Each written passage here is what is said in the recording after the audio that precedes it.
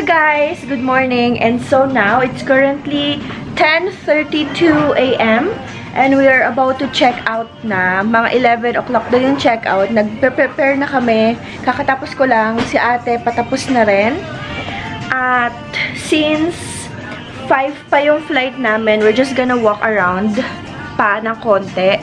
Tapos kakain ng lunch. And then by 3 p.m., baka mag Uber na kami papuntang airport. So, we need to ask kung pwede namin paiwan yung mga luggage.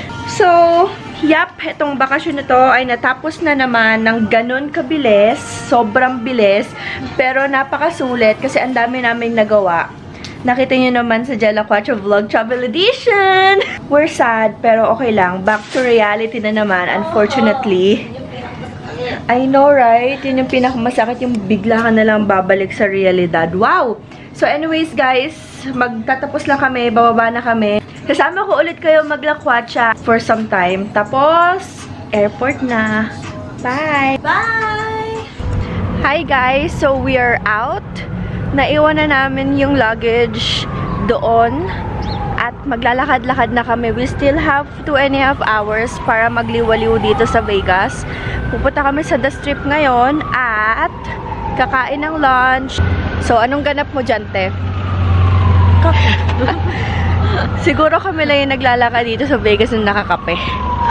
Siyempre, kailangan eh. Tapos mamaya, pag pabalik dito, siguro yung, ano naman, yung with alcohol. Para lasing kami sa sa airport. You like that idea? That's not a bad idea.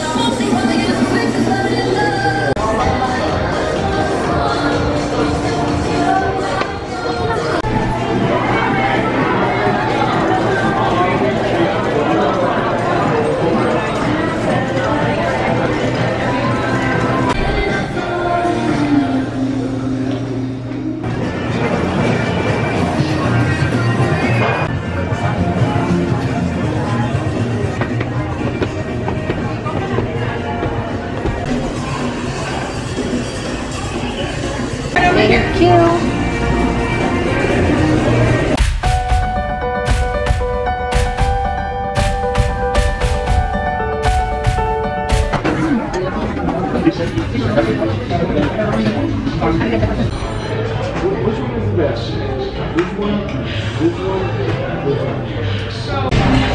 Hi guys! So, nandito kami sa Babagam. It's our last lunch na dito sa Las Vegas. You guess what it is? Tropical! So, last na to, promise. Last na to, promise. Last ng inom Last to, drink promise. Oh my gosh! Everyday tayo umiinom. Duh, Vegas eh. I know, right? Diba? Pag nasa Vegas ka, wala ka na naman. Oo nga, inom pala na inom, guys. Lasing kung lasing. Tapos bigla na lang tatawa ng ha ha ha ha. Oh, ay, grabe. Dapat talaga na-record to si Jill kagabi. Iba yung... Iba, Iba yung trip. niya. Nagbababay bigla-bigla. Alam mo yun? Oo, oo, sa elevator, guys. Nagulat din yung lalaki. So parang, oh, oh, bye! Hindi alam. Napaka-random. Kaya, paalis na sana yung lalaki. Like, almost paalis na siya sa corner. Tapos biglang nag-bye. So, nakabalik na like, oh, iba. It's currently 1.05 p.m. already. So, meron na lang kaming an hour and a half para kumain at bumalik sa hotel para kunin yung luggages at mag-Uber na kami papuntang airport.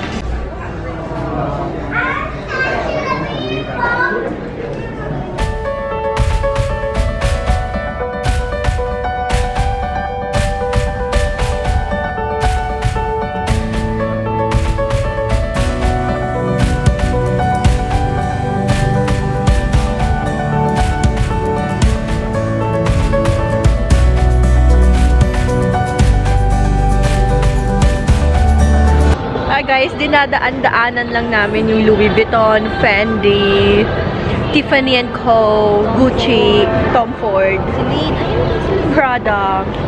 Kasi, ha, meron na kami niyan. Okay na yon, okay na. Meron sa... O, ngayon, dadaanan lang namin si Celine. Si Dior din nandito. meron na kami yan. Nak nakilala na namin siya eh. Diba? Nak oh, walang tao, so wag tayong papasok. Kailangan may tao. Guys, kung gusto niyo pumasok sa mga high-end store para mag-window shopping lang, Kailangan may tao. Yep.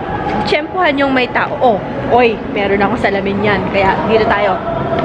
Meron akong salamin yan. So, kaya kong pumasok. Pero hindi. Jimmy Choo yung suot ko. Hanap tayo ng Jimmy Choo. Dapat marami tao para hindi sila sunod ng sunod. Oo. Alam niyo yung mga ano, hindi naman sa pag pero I know that it's their work. Pero minsan, nakakahiya lang pag hindi ka naman bibili, tapos sinusundan-sundan ka lang nila. Oo nga, sabihin niya, Hey! How are you guys doing there? Are you finding everything okay? O, di ba? So, oy, pwede tayo picture dito. Oh, wait lang. Bago, pipicture lang kami.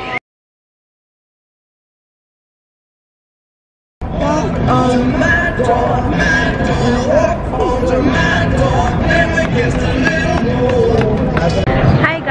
So time check, it's 2.40 p.m. and kinukuha na namin yung luggage namin dito sa sa bell desk sa hotel namin.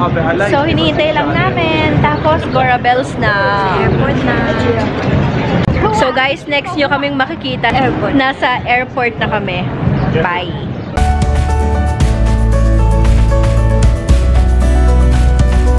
Hi guys! So nandito na kami sa airport ni Ate Winnie. Hinihintay lang namin ang boarding.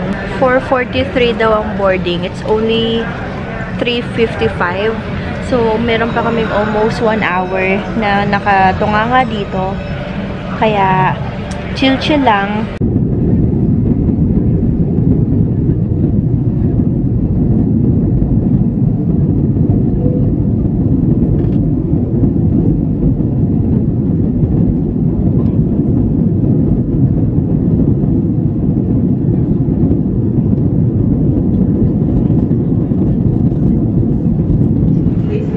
Hi guys, so it's currently 8.05 p.m. and nandito kami sa Salt City para sa layover namin.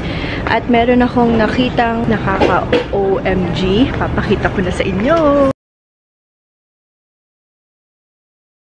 Punta na kami sa gate. Nakabili na kami ng Krispy Kreme. Eh, isa lang yung binili ko kasi ako lang naman yung kakain.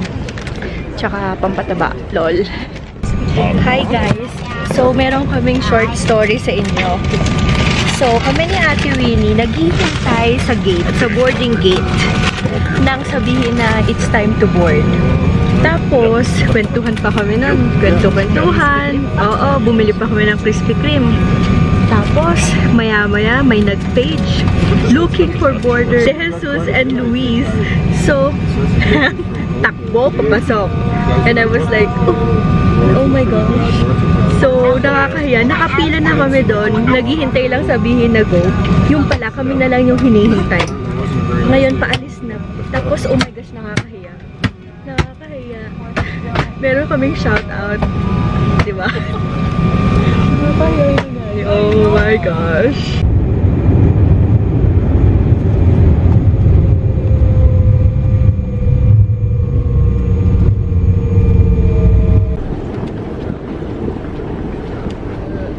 Hey you guys, it's us again. So it's currently 11:10 p.m. and nandito na kami sa Calgary Airport. Hinihintay lang namin yung aming mga luggages dito sa Belt Chuvanes. Tapos uuwi na kami.